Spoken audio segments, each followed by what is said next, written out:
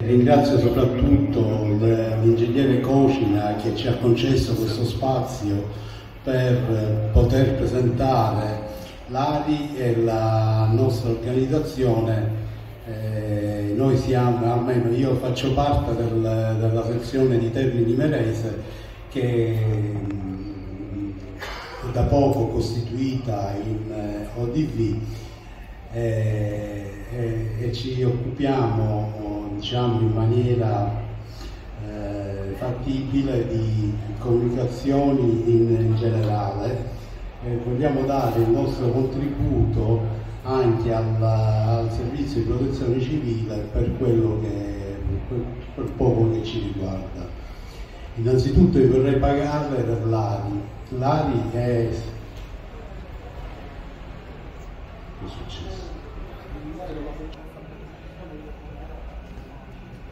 Radioamatori Italiani nasce nel 1927, che è il suo anno di fondazione.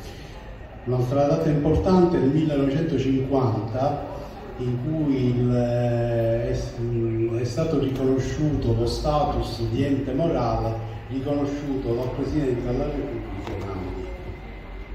la distribuzione territoriale del, dell'ARI è così composta. Abbiamo una sede nazionale a Milano, 19 comitati regionali che inglobano 281 sezioni con 15.000 soci in tutta Italia.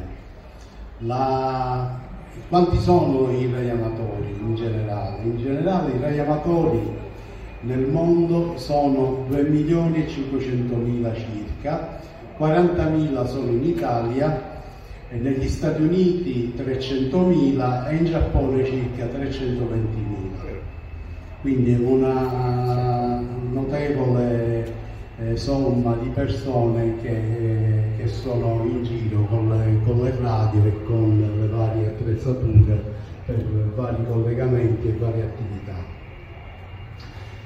radio amatori famosi sono stati il, il Presidente della Repubblica, eh, il, il, Cossiga, il, il senatore Zamberletti, attualmente c'è la nostra astronauta Samantha Cristoforetti e tutte le altre persone che potete vedere e leggere nelle slide. Da Juan Carlos re di Spagna, il re di Giordania, eh, re Gigandi, eccetera, eccetera.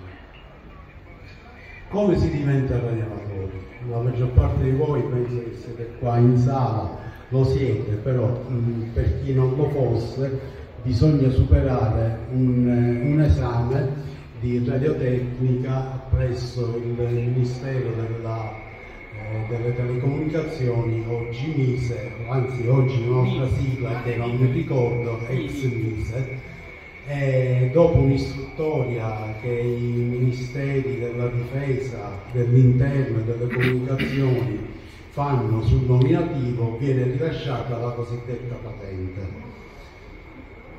Il, I radiamatori, la loro specifica attività è di studiare l'elettronica applicata alla radio, di studio di propagazione delle onde elettromagnetiche, si dilettano in autocostruzioni di apparati, di apparati di antenna e sperimentazioni di nuovi sistemi di comunicazione elettronica integrata con le reti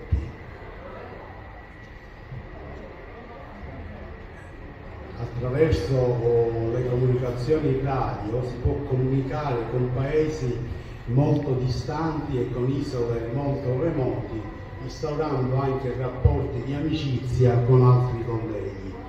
Le trasmissioni avvengono su una rete di, fre di frequenze assegnate proprio al servizio radioamatoriale in tutto il mondo.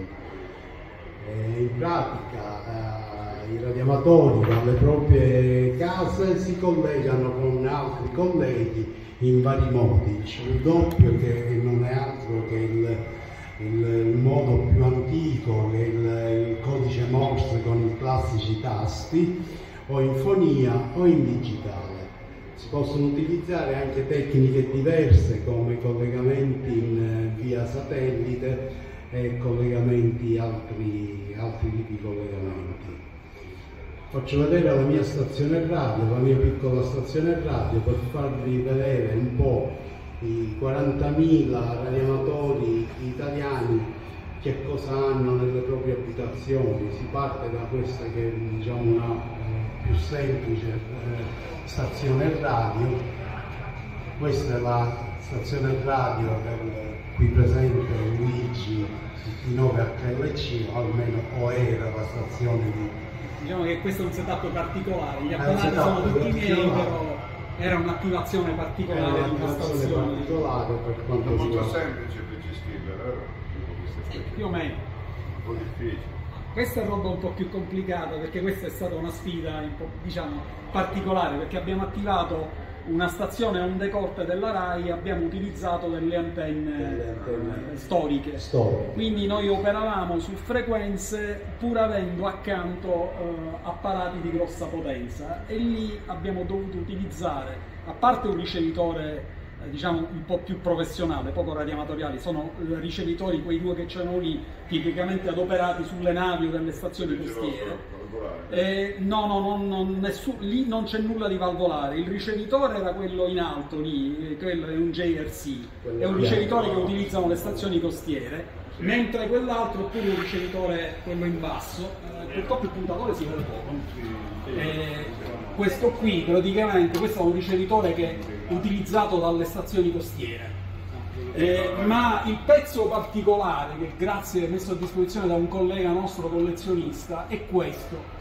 Questo praticamente è un preselettore, cioè è un filtro in grado di eh, poter far operare il ricevitore anche accanto a, a trasmettitori di grossa potenza, perché lì imposti la frequenza al kHz e praticamente fa dei filtri motoriali, si ha dei eh, condensatori, componenti motorizzati. Ma non è quello, è un pezzo raro, questo è un pezzo. Sì, ma infatti non, non, è, non, è, non è, roba, è roba da collezione. Non si trova. No, no, non è roba commerciale, questa è roba che viene utilizzato sul, sul, tipicamente sulle navi militari. Professionale, sì. molto professionale. E lì allora abbiamo fatto, beh, è stata un bella, una bella avventura, ma di esperimenti strani ne abbiamo anche fatti. Anche insieme, anche quella... insieme a Paceco utilizzando abbiamo utilizzato praticamente un una, io poi, poi mi presento poi vi dico come. Abbiamo utilizzato un'antenna è stato un esperimento. Una torre autoradiante da 110 metri utilizzata dalle stazioni Ornatelle quindi l'abbiamo fatta funzionare